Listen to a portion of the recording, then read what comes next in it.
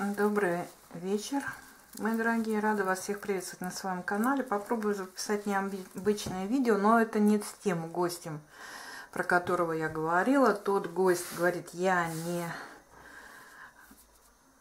артист, чтобы выступать, поэтому нет. Во всяком случае, пока нет.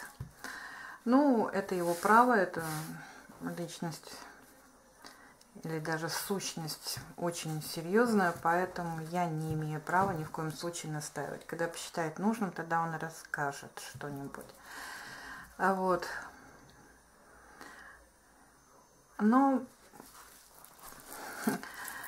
попробуем пообщаться с Владимиром э, Вольфовичем Жириновским. Сейчас я тут так карту достану, которую ну, немножко вам хотя бы на экране будет, чтобы поинтереснее было. Ну вот, пожалуйста. Король Пентаклей. Хорошая очень карта, ресурсная. Заодно и Владимир Вольфович очень мудрый человек, умудренный опытом. И мы очень многие слышали записи его предсказания, которые сбывались. Поговорить он любит, общаться он любит. Поэтому, может быть, и нам что-нибудь расскажет. Расскажете, Владимир Вольфович? Ну, расскажу. Хорошо. Давай. Всех, конечно, интересует, когда все закончится.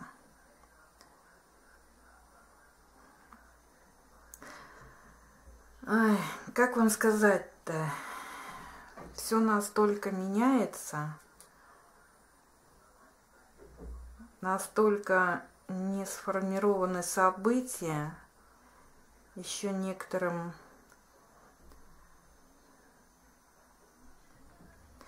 очень хочется вообще пустить землю под откос. Поэтому еще не началась, но мы стоим на грани.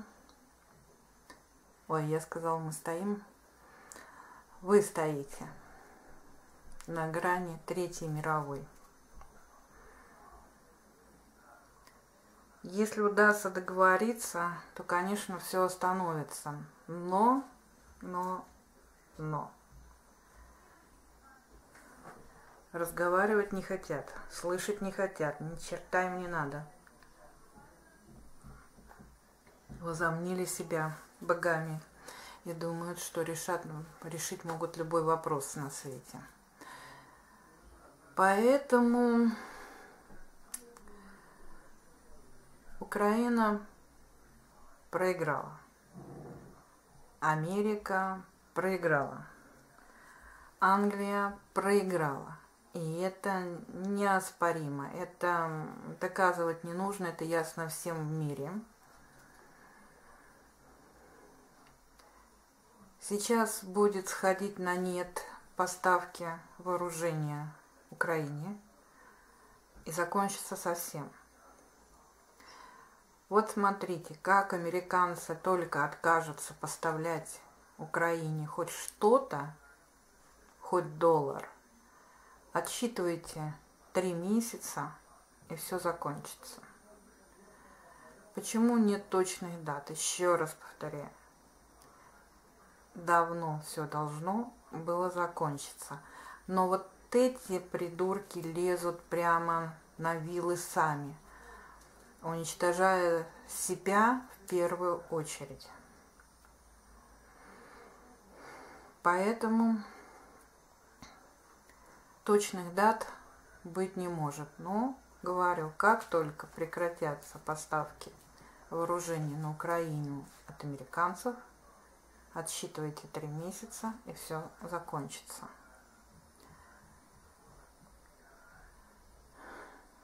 Ну, что еще вам сказать? Ну, про этот параллельный мир, где нахожусь, особо не расскажешь, не дадут. Но, но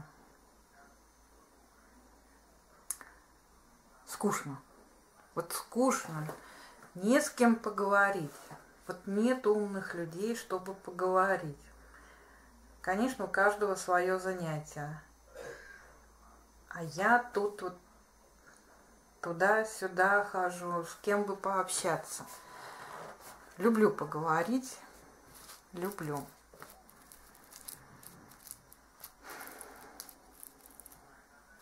Когда начинается переход, это страшно. А потом наступает ощущение спокойствия, что ты как бы возвращаешься домой. Земля – это не основной наш дом. Мы можем здесь жить много, долго, но это не основной дом. Наш дом в другом месте, в другом мире, где нет этих всяких законов, нет дурацких привязок. Все просто, все понятно. И жизнь тут есть.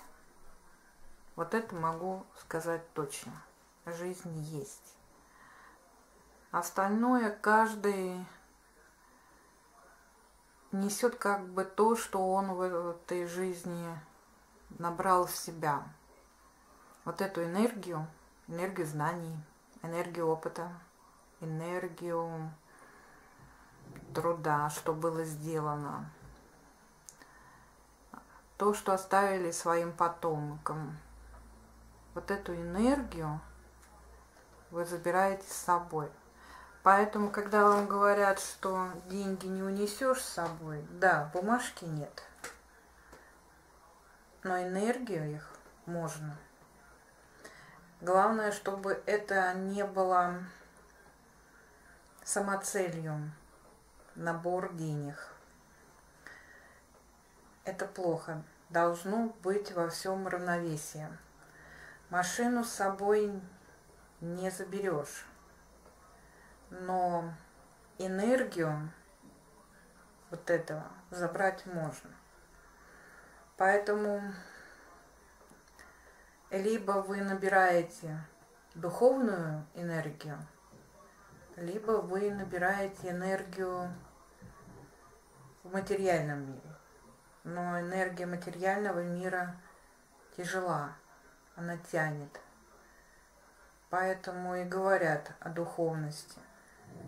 Это очень важно, поэтому развивайтесь, читайте, изучайте, познавайте что-то новое, несмотря на то, сколько вам лет. Это важно. Когда уйдете, вам тогда будет проще. К материальному нужно стремиться. Каждый должен жить хорошо. Нельзя сидеть и ничего не делать. И прийти как бы бессеребренником туда. Бессеребренники там тоже особо не нужны, если этот бессеребренник не развивался духовно. Вы туда тогда придете пустым. Поэтому пока вы ходите, пока вы дышите, развивайтесь, изучайте читайте, познавайте. Вот эту энергию всего вот этого вы сможете с собой унести точно. Это второй вопрос. Путин как Ленин. Ленин. Жил Ленин, жив, Ленин будет жить. Так и Путин. Ленин, Путин жив. Не верьте никому, никаким дурацким каналам. Это все вранье. Им выгодно. Выгодно вас травить, напугать и разжечь все изнутри. А тех, кто живет на Украине, выгодно разуверить и напугать. Следующим президентом будет мужчина – средних лет 40-45 Пока он не определен, имени назвать я не могу. Но он будет следовать путем, который проложил Путин. И еще успеет захватить, поработать с командой Путина. Главное сейчас Путину молодежь, подтянуть молодежь, что он делает правильно, э, правильно. Это важно. Это очень важно, чтобы вот этот труд его, а он для государства сделал много, не пропал даром. Да, я во многом с ним не согласен был. В чем-то я понял его правоту спустя время. Но у нас в России всегда надеются на барина. Барин придет, барин нас рассудит. Поэтому вот эта чехарда и получается, что был хороший барин, все было хорошо. За ним приходит другой барин, который может все разрушить. Но в наших силах, обычных людей, не дать новому барину все разрушить.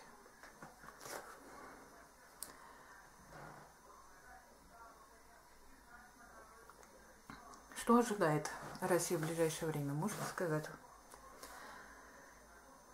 Ну, Россия будет идти к процветанию. Может быть, медленно, может быть, спотыкаясь где-то но идти к процветанию. Это неизбежно. Россия богатая страна, и сейчас начинается использование всех вот этих ресурсов, в общем-то, правильно. Контролировать нужно, как же русские могут чего-нибудь не отжать. Поэтому контроль нужен. Но у многих богатых нынешних богатых. В голове сейчас тоже произошли перемены. Они более уверены в своем будущем и поэтому в большей степени начинают что-то делать для страны. Ну, сами понимаете, быстро не будет. Яхту никто, конечно, не отдаст бедняку бедняк должен сам работать. Вспомните, что я говорила о том, что все-таки энергию можно с собой унести. Нарабатывайте ее, пока есть время. Будут большие перемены в плане руководящего состава. Ну, наша партия потихоньку будет все контролировать. Я не могу сказать, что мы там везде будем побеждать на выборах, но контроль будет усиливаться.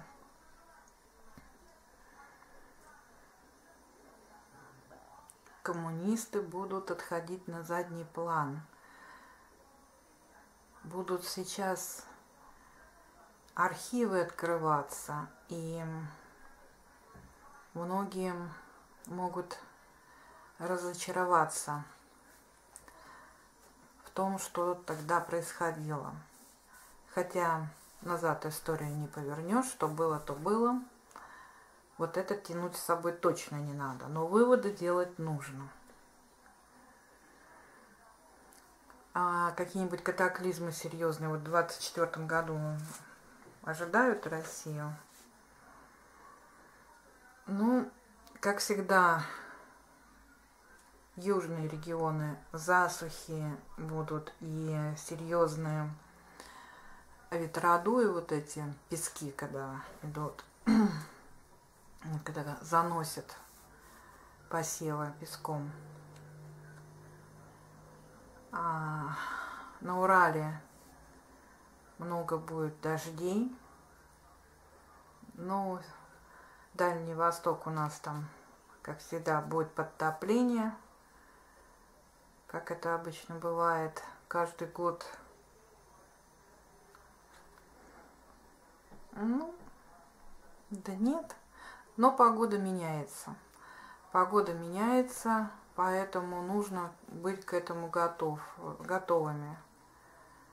Где-то будет очень жарко, где-то будет слишком мокро. И это может быть даже в средних регионах, центральных, западных, вот эти вот срединные эти регионы, когда за короткое время погода будет меняться. Поэтому этому надо быть готовыми, потому что по урожаю, по зерновым может ударить, конечно.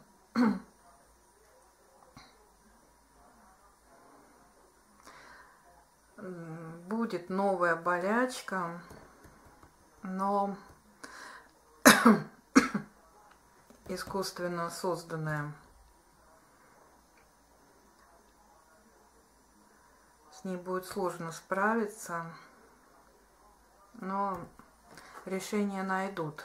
Опыт уже есть, решение найдут. В Европе может начаться эпидемия старых болезней, типа очень старых. Тут уже я не буду называть их, чтобы меня не заблокировали канал. На букву Х, на букву Т.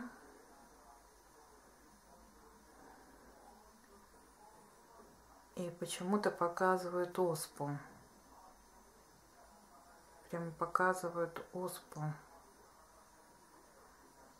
Лица вот прямо вот этими, знаете, болячками покрытые.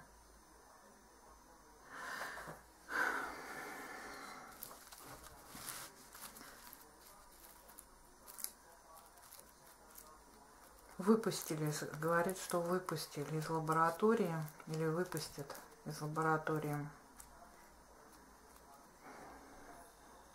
Кто-то будет перевозить ампулы, и они будут повреждены. Поэтому будьте, пожалуйста, очень аккуратны, особенно кто хочет туда ехать отдыхать или на путешествие.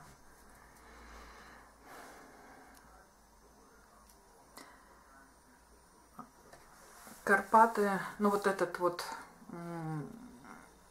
сейчас попробую объяснить, этот вот хребет, который вот Карпатские горы, туда в Европу идет дальше, и туда связь с Грузией будет трясти в следующем году. Землетрясений будет много. Ну, серьезных наводнений нет. Ну, Затопления будут из-за сильных дождей, но так, чтобы вот именно серьезное наводнение, нет.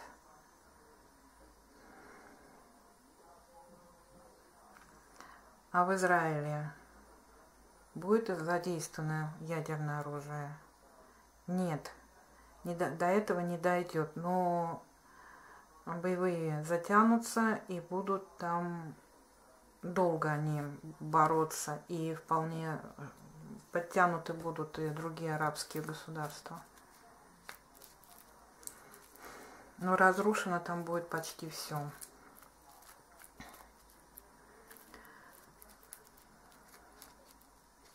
А по России будут с Украины серьезные обстрелы? Задают такие вопросы. Я так понимаю, не просто беспилотники, а ракетные вот эти обстрелы. Не,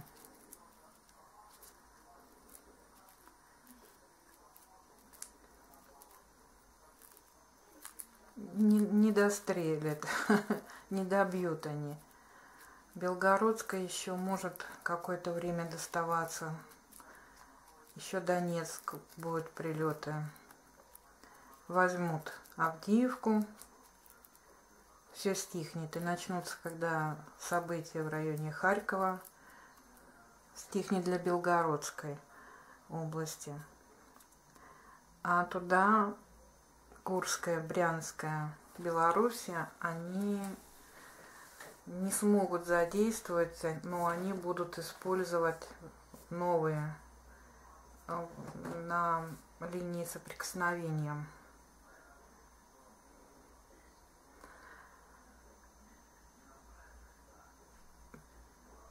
Так что можете не волноваться. Говорит, что устал. Пойдет.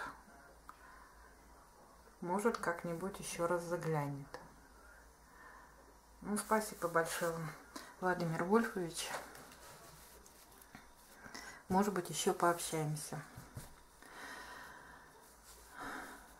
Ну, я надеюсь, вы получили ответы на свои вопросы моим, конечно, голосом.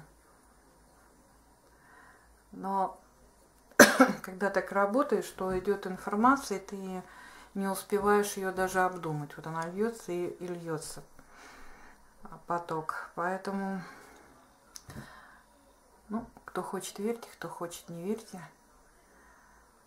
Ответы вам даны. А там поживем, увидим. У нас очень много почему-то на канал к Малахову приглашают индусов, предсказателей. Вот интересно, у нас в России нет, что ли, таких? Или они неизвестно прячутся? Я думаю, что есть люди. Я не говорю о себе ни в коем случае, я на канал не пойду, но просто очень удивительно, что именно индусов. Но опять же, это все больше общие слова и не более конкретики. Хотя с чем-то я согласна, с чем-то я категорически не согласна. Ну, поживем, увидим. Желаю вам всем, чтобы все это как можно быстрее закончилось. Да, кстати, вы заметили, что он про 30 ноября ничего не сказал. А сказал, что когда закончится поставка вооружения Украине – Отсчитываем три месяца. А про 20 ноября, э, по 30 ноября ничего не сказал.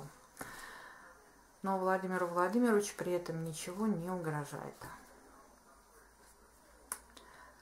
Поэтому наблюдаем, смотрим, что будет дальше. Берегите себя, берегите своих близких и до новых встреч.